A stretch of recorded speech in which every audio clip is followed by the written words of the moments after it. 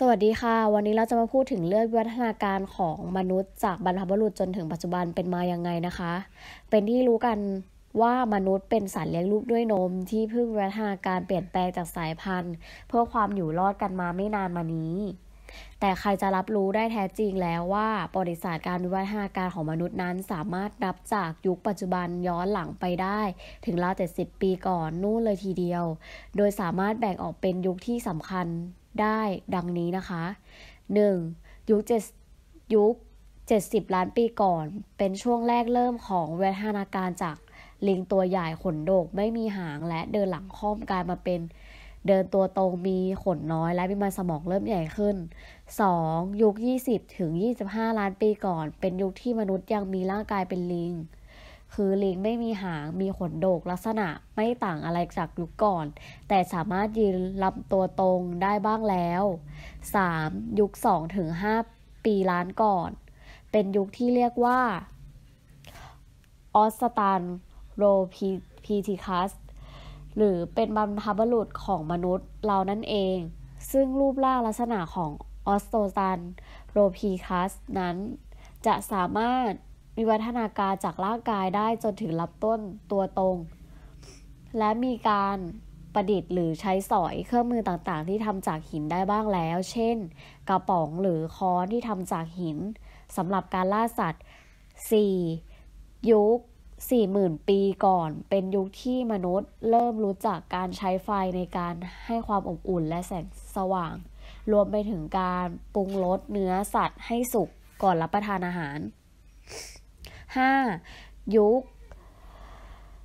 250,000 ปีก่อน เป็นยุคที่เรียกว่า Homo sapiens มีรูปลักษณะที่ใกล้เคียงกับมนุษย์ในยุคปัจจุบันมากขึ้น ทั้งยังสามารถพัฒนาเครื่องมือต่างๆ เพื่อใช้ในการล่าสัตว์ได้ให้มีประสิทธิภาพมากกว่าเดิมได้ 6. ยุค แสน ถึง 35,000 ปีก่อน หรือที่รู้จักกันในยุคของมนุษย์นีแคนโททัส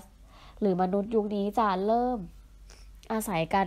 กลุ่มภายในถ้ำการดำรงชีวิต หรือการล่าสัตว์ค่ะ 7. ยุค 30,000 ปีก่อน หรือมนุษย์โคมันยอง ซึ่งเริ่มมีการใช้เครื่องนุ่มห่มปกปิดร่างกาย อยู่อาศัยกันเป็นกลุ่ม ใหญ่หรือเผ่า แต่ยังมีการดำรงชีพโดยการล่าสัตว์อยู่มนุษย์ พวกนี้ส่วนใหญ่เป็นบรรพบุรุษของมนุษย์ผิวขาวทางยุโรป 8. ยุค 5,000 ปีก่อนเป็นเริ่มที่มนุษย์รู้จักการเพาะปลูก โดยเริ่มจากข้าวสาลีหรือข้าวปาเร และมนุษย์ยุคนี้จะเริ่มอยู่รวมกันเป็นหมู่บ้านหรือนิคม บางแห่งถ้าใหญ่หน่อยจะเริ่มจัดการเป็น เป็นเมือง มีหัวหน้าเผ่าหรือเจ้า เจ้าคอง แคว้นเป็นผู้นำจะเห็นได้ว่าระยะเวลาที่มนุษย์เวทาการนั้น กินระหว่างเวลายาวนานไม่ใช่เล่น จากลิงขนดกร่างใหญ่พัฒนาร่างกายความคิด มันสมองมาเรื่อยๆ จนเริ่มรู้ร่วมกันเป็นกลุ่ม และรู้จักการใช้สอยสิ่งและพัฒนาต่างๆ รอบตัวได้ในที่สุด ระยะเวลาของมนุษย์ ขอบคุณค่ะ